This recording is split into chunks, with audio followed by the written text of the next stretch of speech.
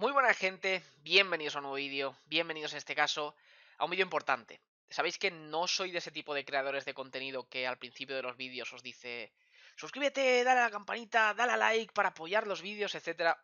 Para nada, creo que nunca he hecho eso, lo he hecho en veces contadas, estilo, oye, me gustaría que apoyáis este vídeo por esto. Y en particular os lo voy a pedir en este vídeo. Obviamente, vedlo hasta el final o vedlo hasta que os canséis si no queréis darle like directamente o si no queréis compartirlo. Pero os lo voy a pedir como un favor personal o como un favor para todos aquellos que disfrutéis del Blazing, que podamos seguir disfrutándolo. Dadle like, compartidlo, porque este vídeo tiene que llegar a las máximas personas posibles y que sepa Gri, que es la compañía que lleva Naruto Blazing, que hacemos comunidad, que la comunidad está unida y que queremos cambios.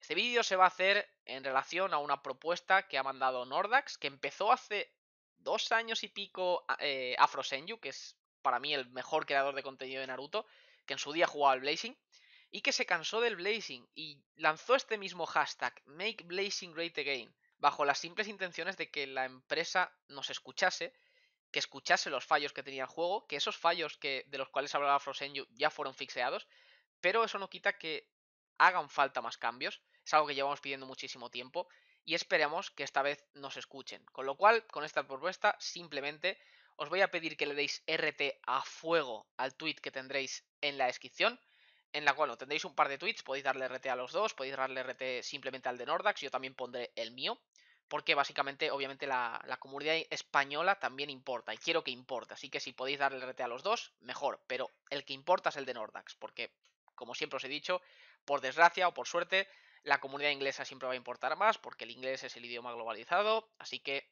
sin más, dadle caña al tweet de Nordax y vamos allá. ¿Qué pone en dicho tweet? Pues lo veremos dentro de muy poquito, lo resumiré muy por encima porque mi opinión sobre el juego quiero que quiero darla en otro vídeo, quiero ver en profundidad todos esos puntos que, ha dicho Nordax en su tweet y comentarlos y dar mi opinión, etcétera. Pero este vídeo es simplemente informativo para pediros ese apoyo, para que le deis caña al tweet, para que que sepa la empresa que estamos unidos, de verdad, es importante hacer comunidad, como es importante que introduzcan estos cambios para que podamos hacer incluso más comunidad.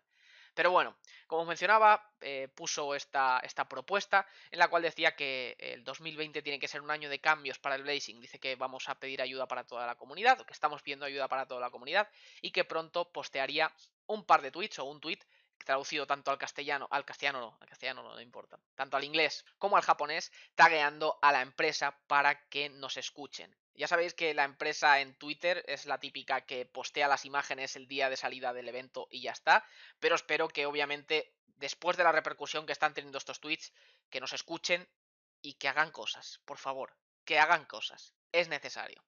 Así que nada, aparte también nos pide, que esto es algo que yo lo veo un poco con cuidado, gente, que pongamos como valoración de la aplicación en Play Store una estrella simbólica. Ya sabéis que la palabra simbólica pues, es importante aquí.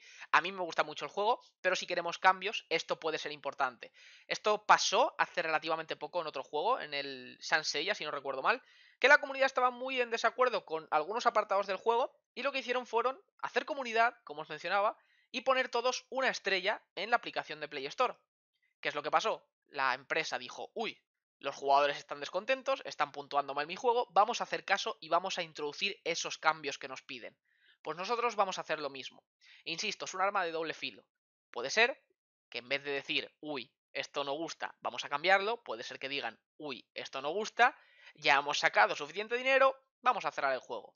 Esperemos que no sea así, personalmente lo dudo, pero no deja de ser un arma de doble filo. Igualmente, esto ya es un paso que podéis hacer o podéis no hacer. Actualmente la aplicación en Play Store tiene 4,3 estrellas de valoración y personalmente me parece poco justo eh, para un juego que realmente, a pesar de que me guste y que lo sigo disfrutando, no hace nada de caso a la comunidad. Así que, si queréis hacer este paso, coged vuestra aplicación de Play Store, o imagino que la de Apple también tendrá lo suyo, le ponéis una estrella y le ponéis algún datito que os gustaría que pusiesen, como los que mencionaré en el futuro vídeo o en este que lo mencionaré muy por encima. Así que nada, este es el tweet que el cual le tenéis que hacer RT, que es el comunicado el cual está tanto en inglés como en japonés para la empresa de Gri, que queremos que hagan cambios en este juego. Como menciona aquí, dice que queremos cambios para este 2020 y que quiere cambios tanto en PvP como en PvP como en P en general, ¿no? En general, cambios de interfaz.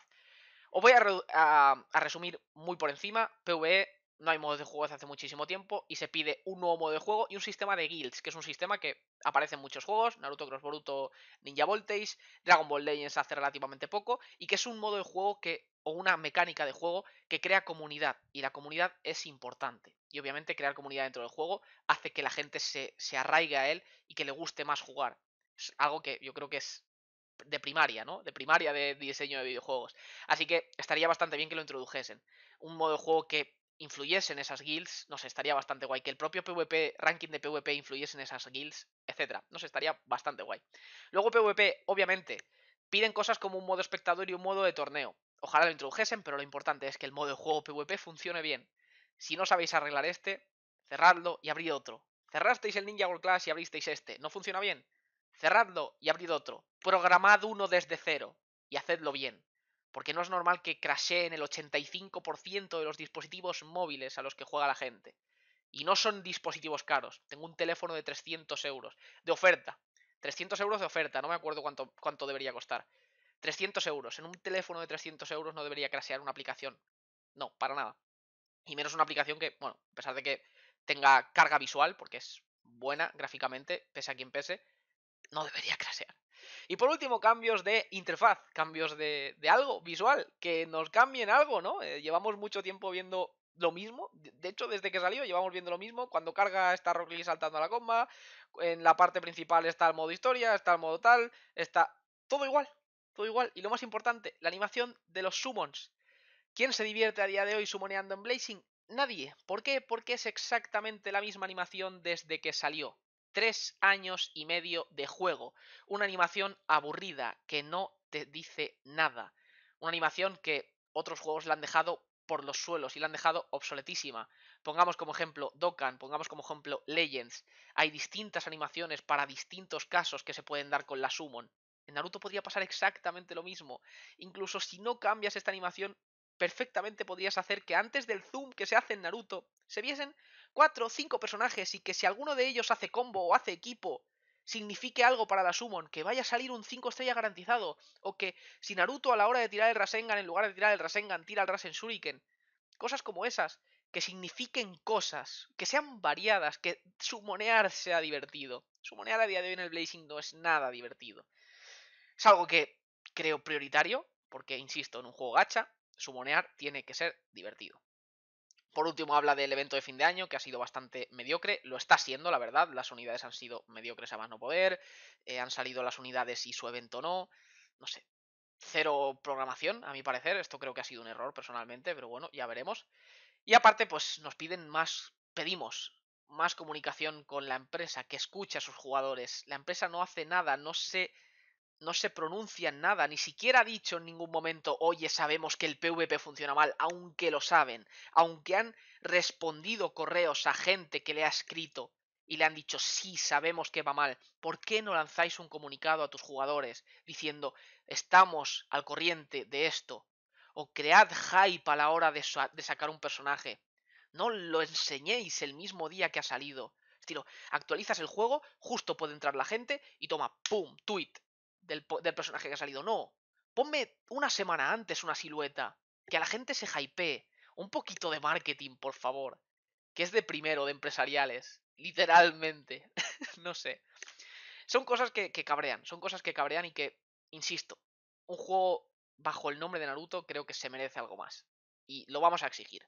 Así que, gente, mucho apoyo a los tweets que vais a ver en la descripción. Insisto, el mío es secundario. De hecho, el mío retuiteará el suyo directamente.